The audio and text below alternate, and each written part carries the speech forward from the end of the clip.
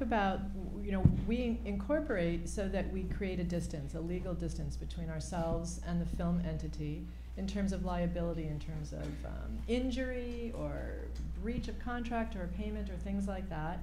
Um, talk about the maintaining the corporate veil, what that means, and how a corporate veil could be pierced. Okay. Uh, piercing the corporate veil is a legal term. Basically, what it means is if a company wants to get to your personal assets, they say, you know what, this, this LLC that you set up is really just a sham.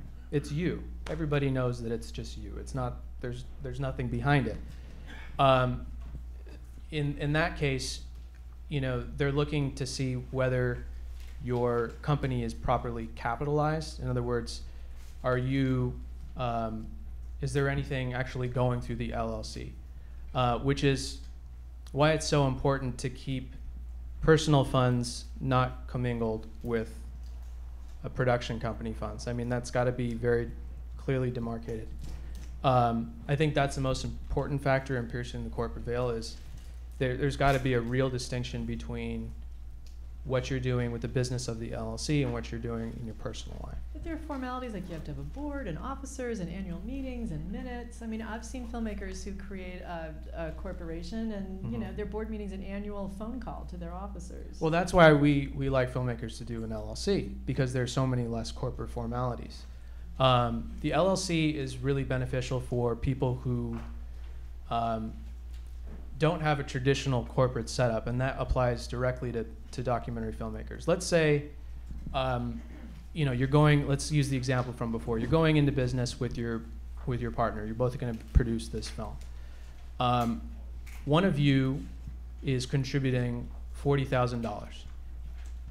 Um, you, let's say, you're contributing ten thousand dollars. Your friend is contributing forty, but you've decided I'm going to do ninety percent of the work, even though I'm only contributing ten thousand dollars, which is eighty percent of the budget. Let's say this is a low budget documentary.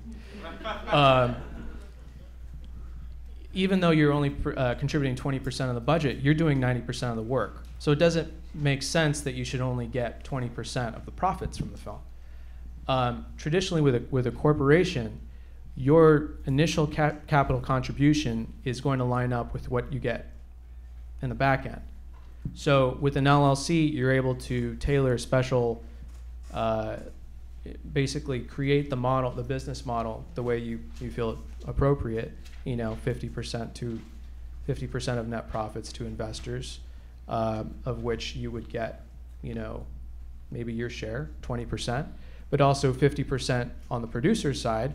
And for that, maybe you get 90% because you're doing 90, 90% of the work. Um, so it's much easier to work with an LLC in that way because uh, there are default rules for, for an LLC, but it's very easy to, as long as you're working with, uh, I guess, an attorney or somebody uh, who is very comfortable with this stuff, uh, it's, it's much easier to change the rules.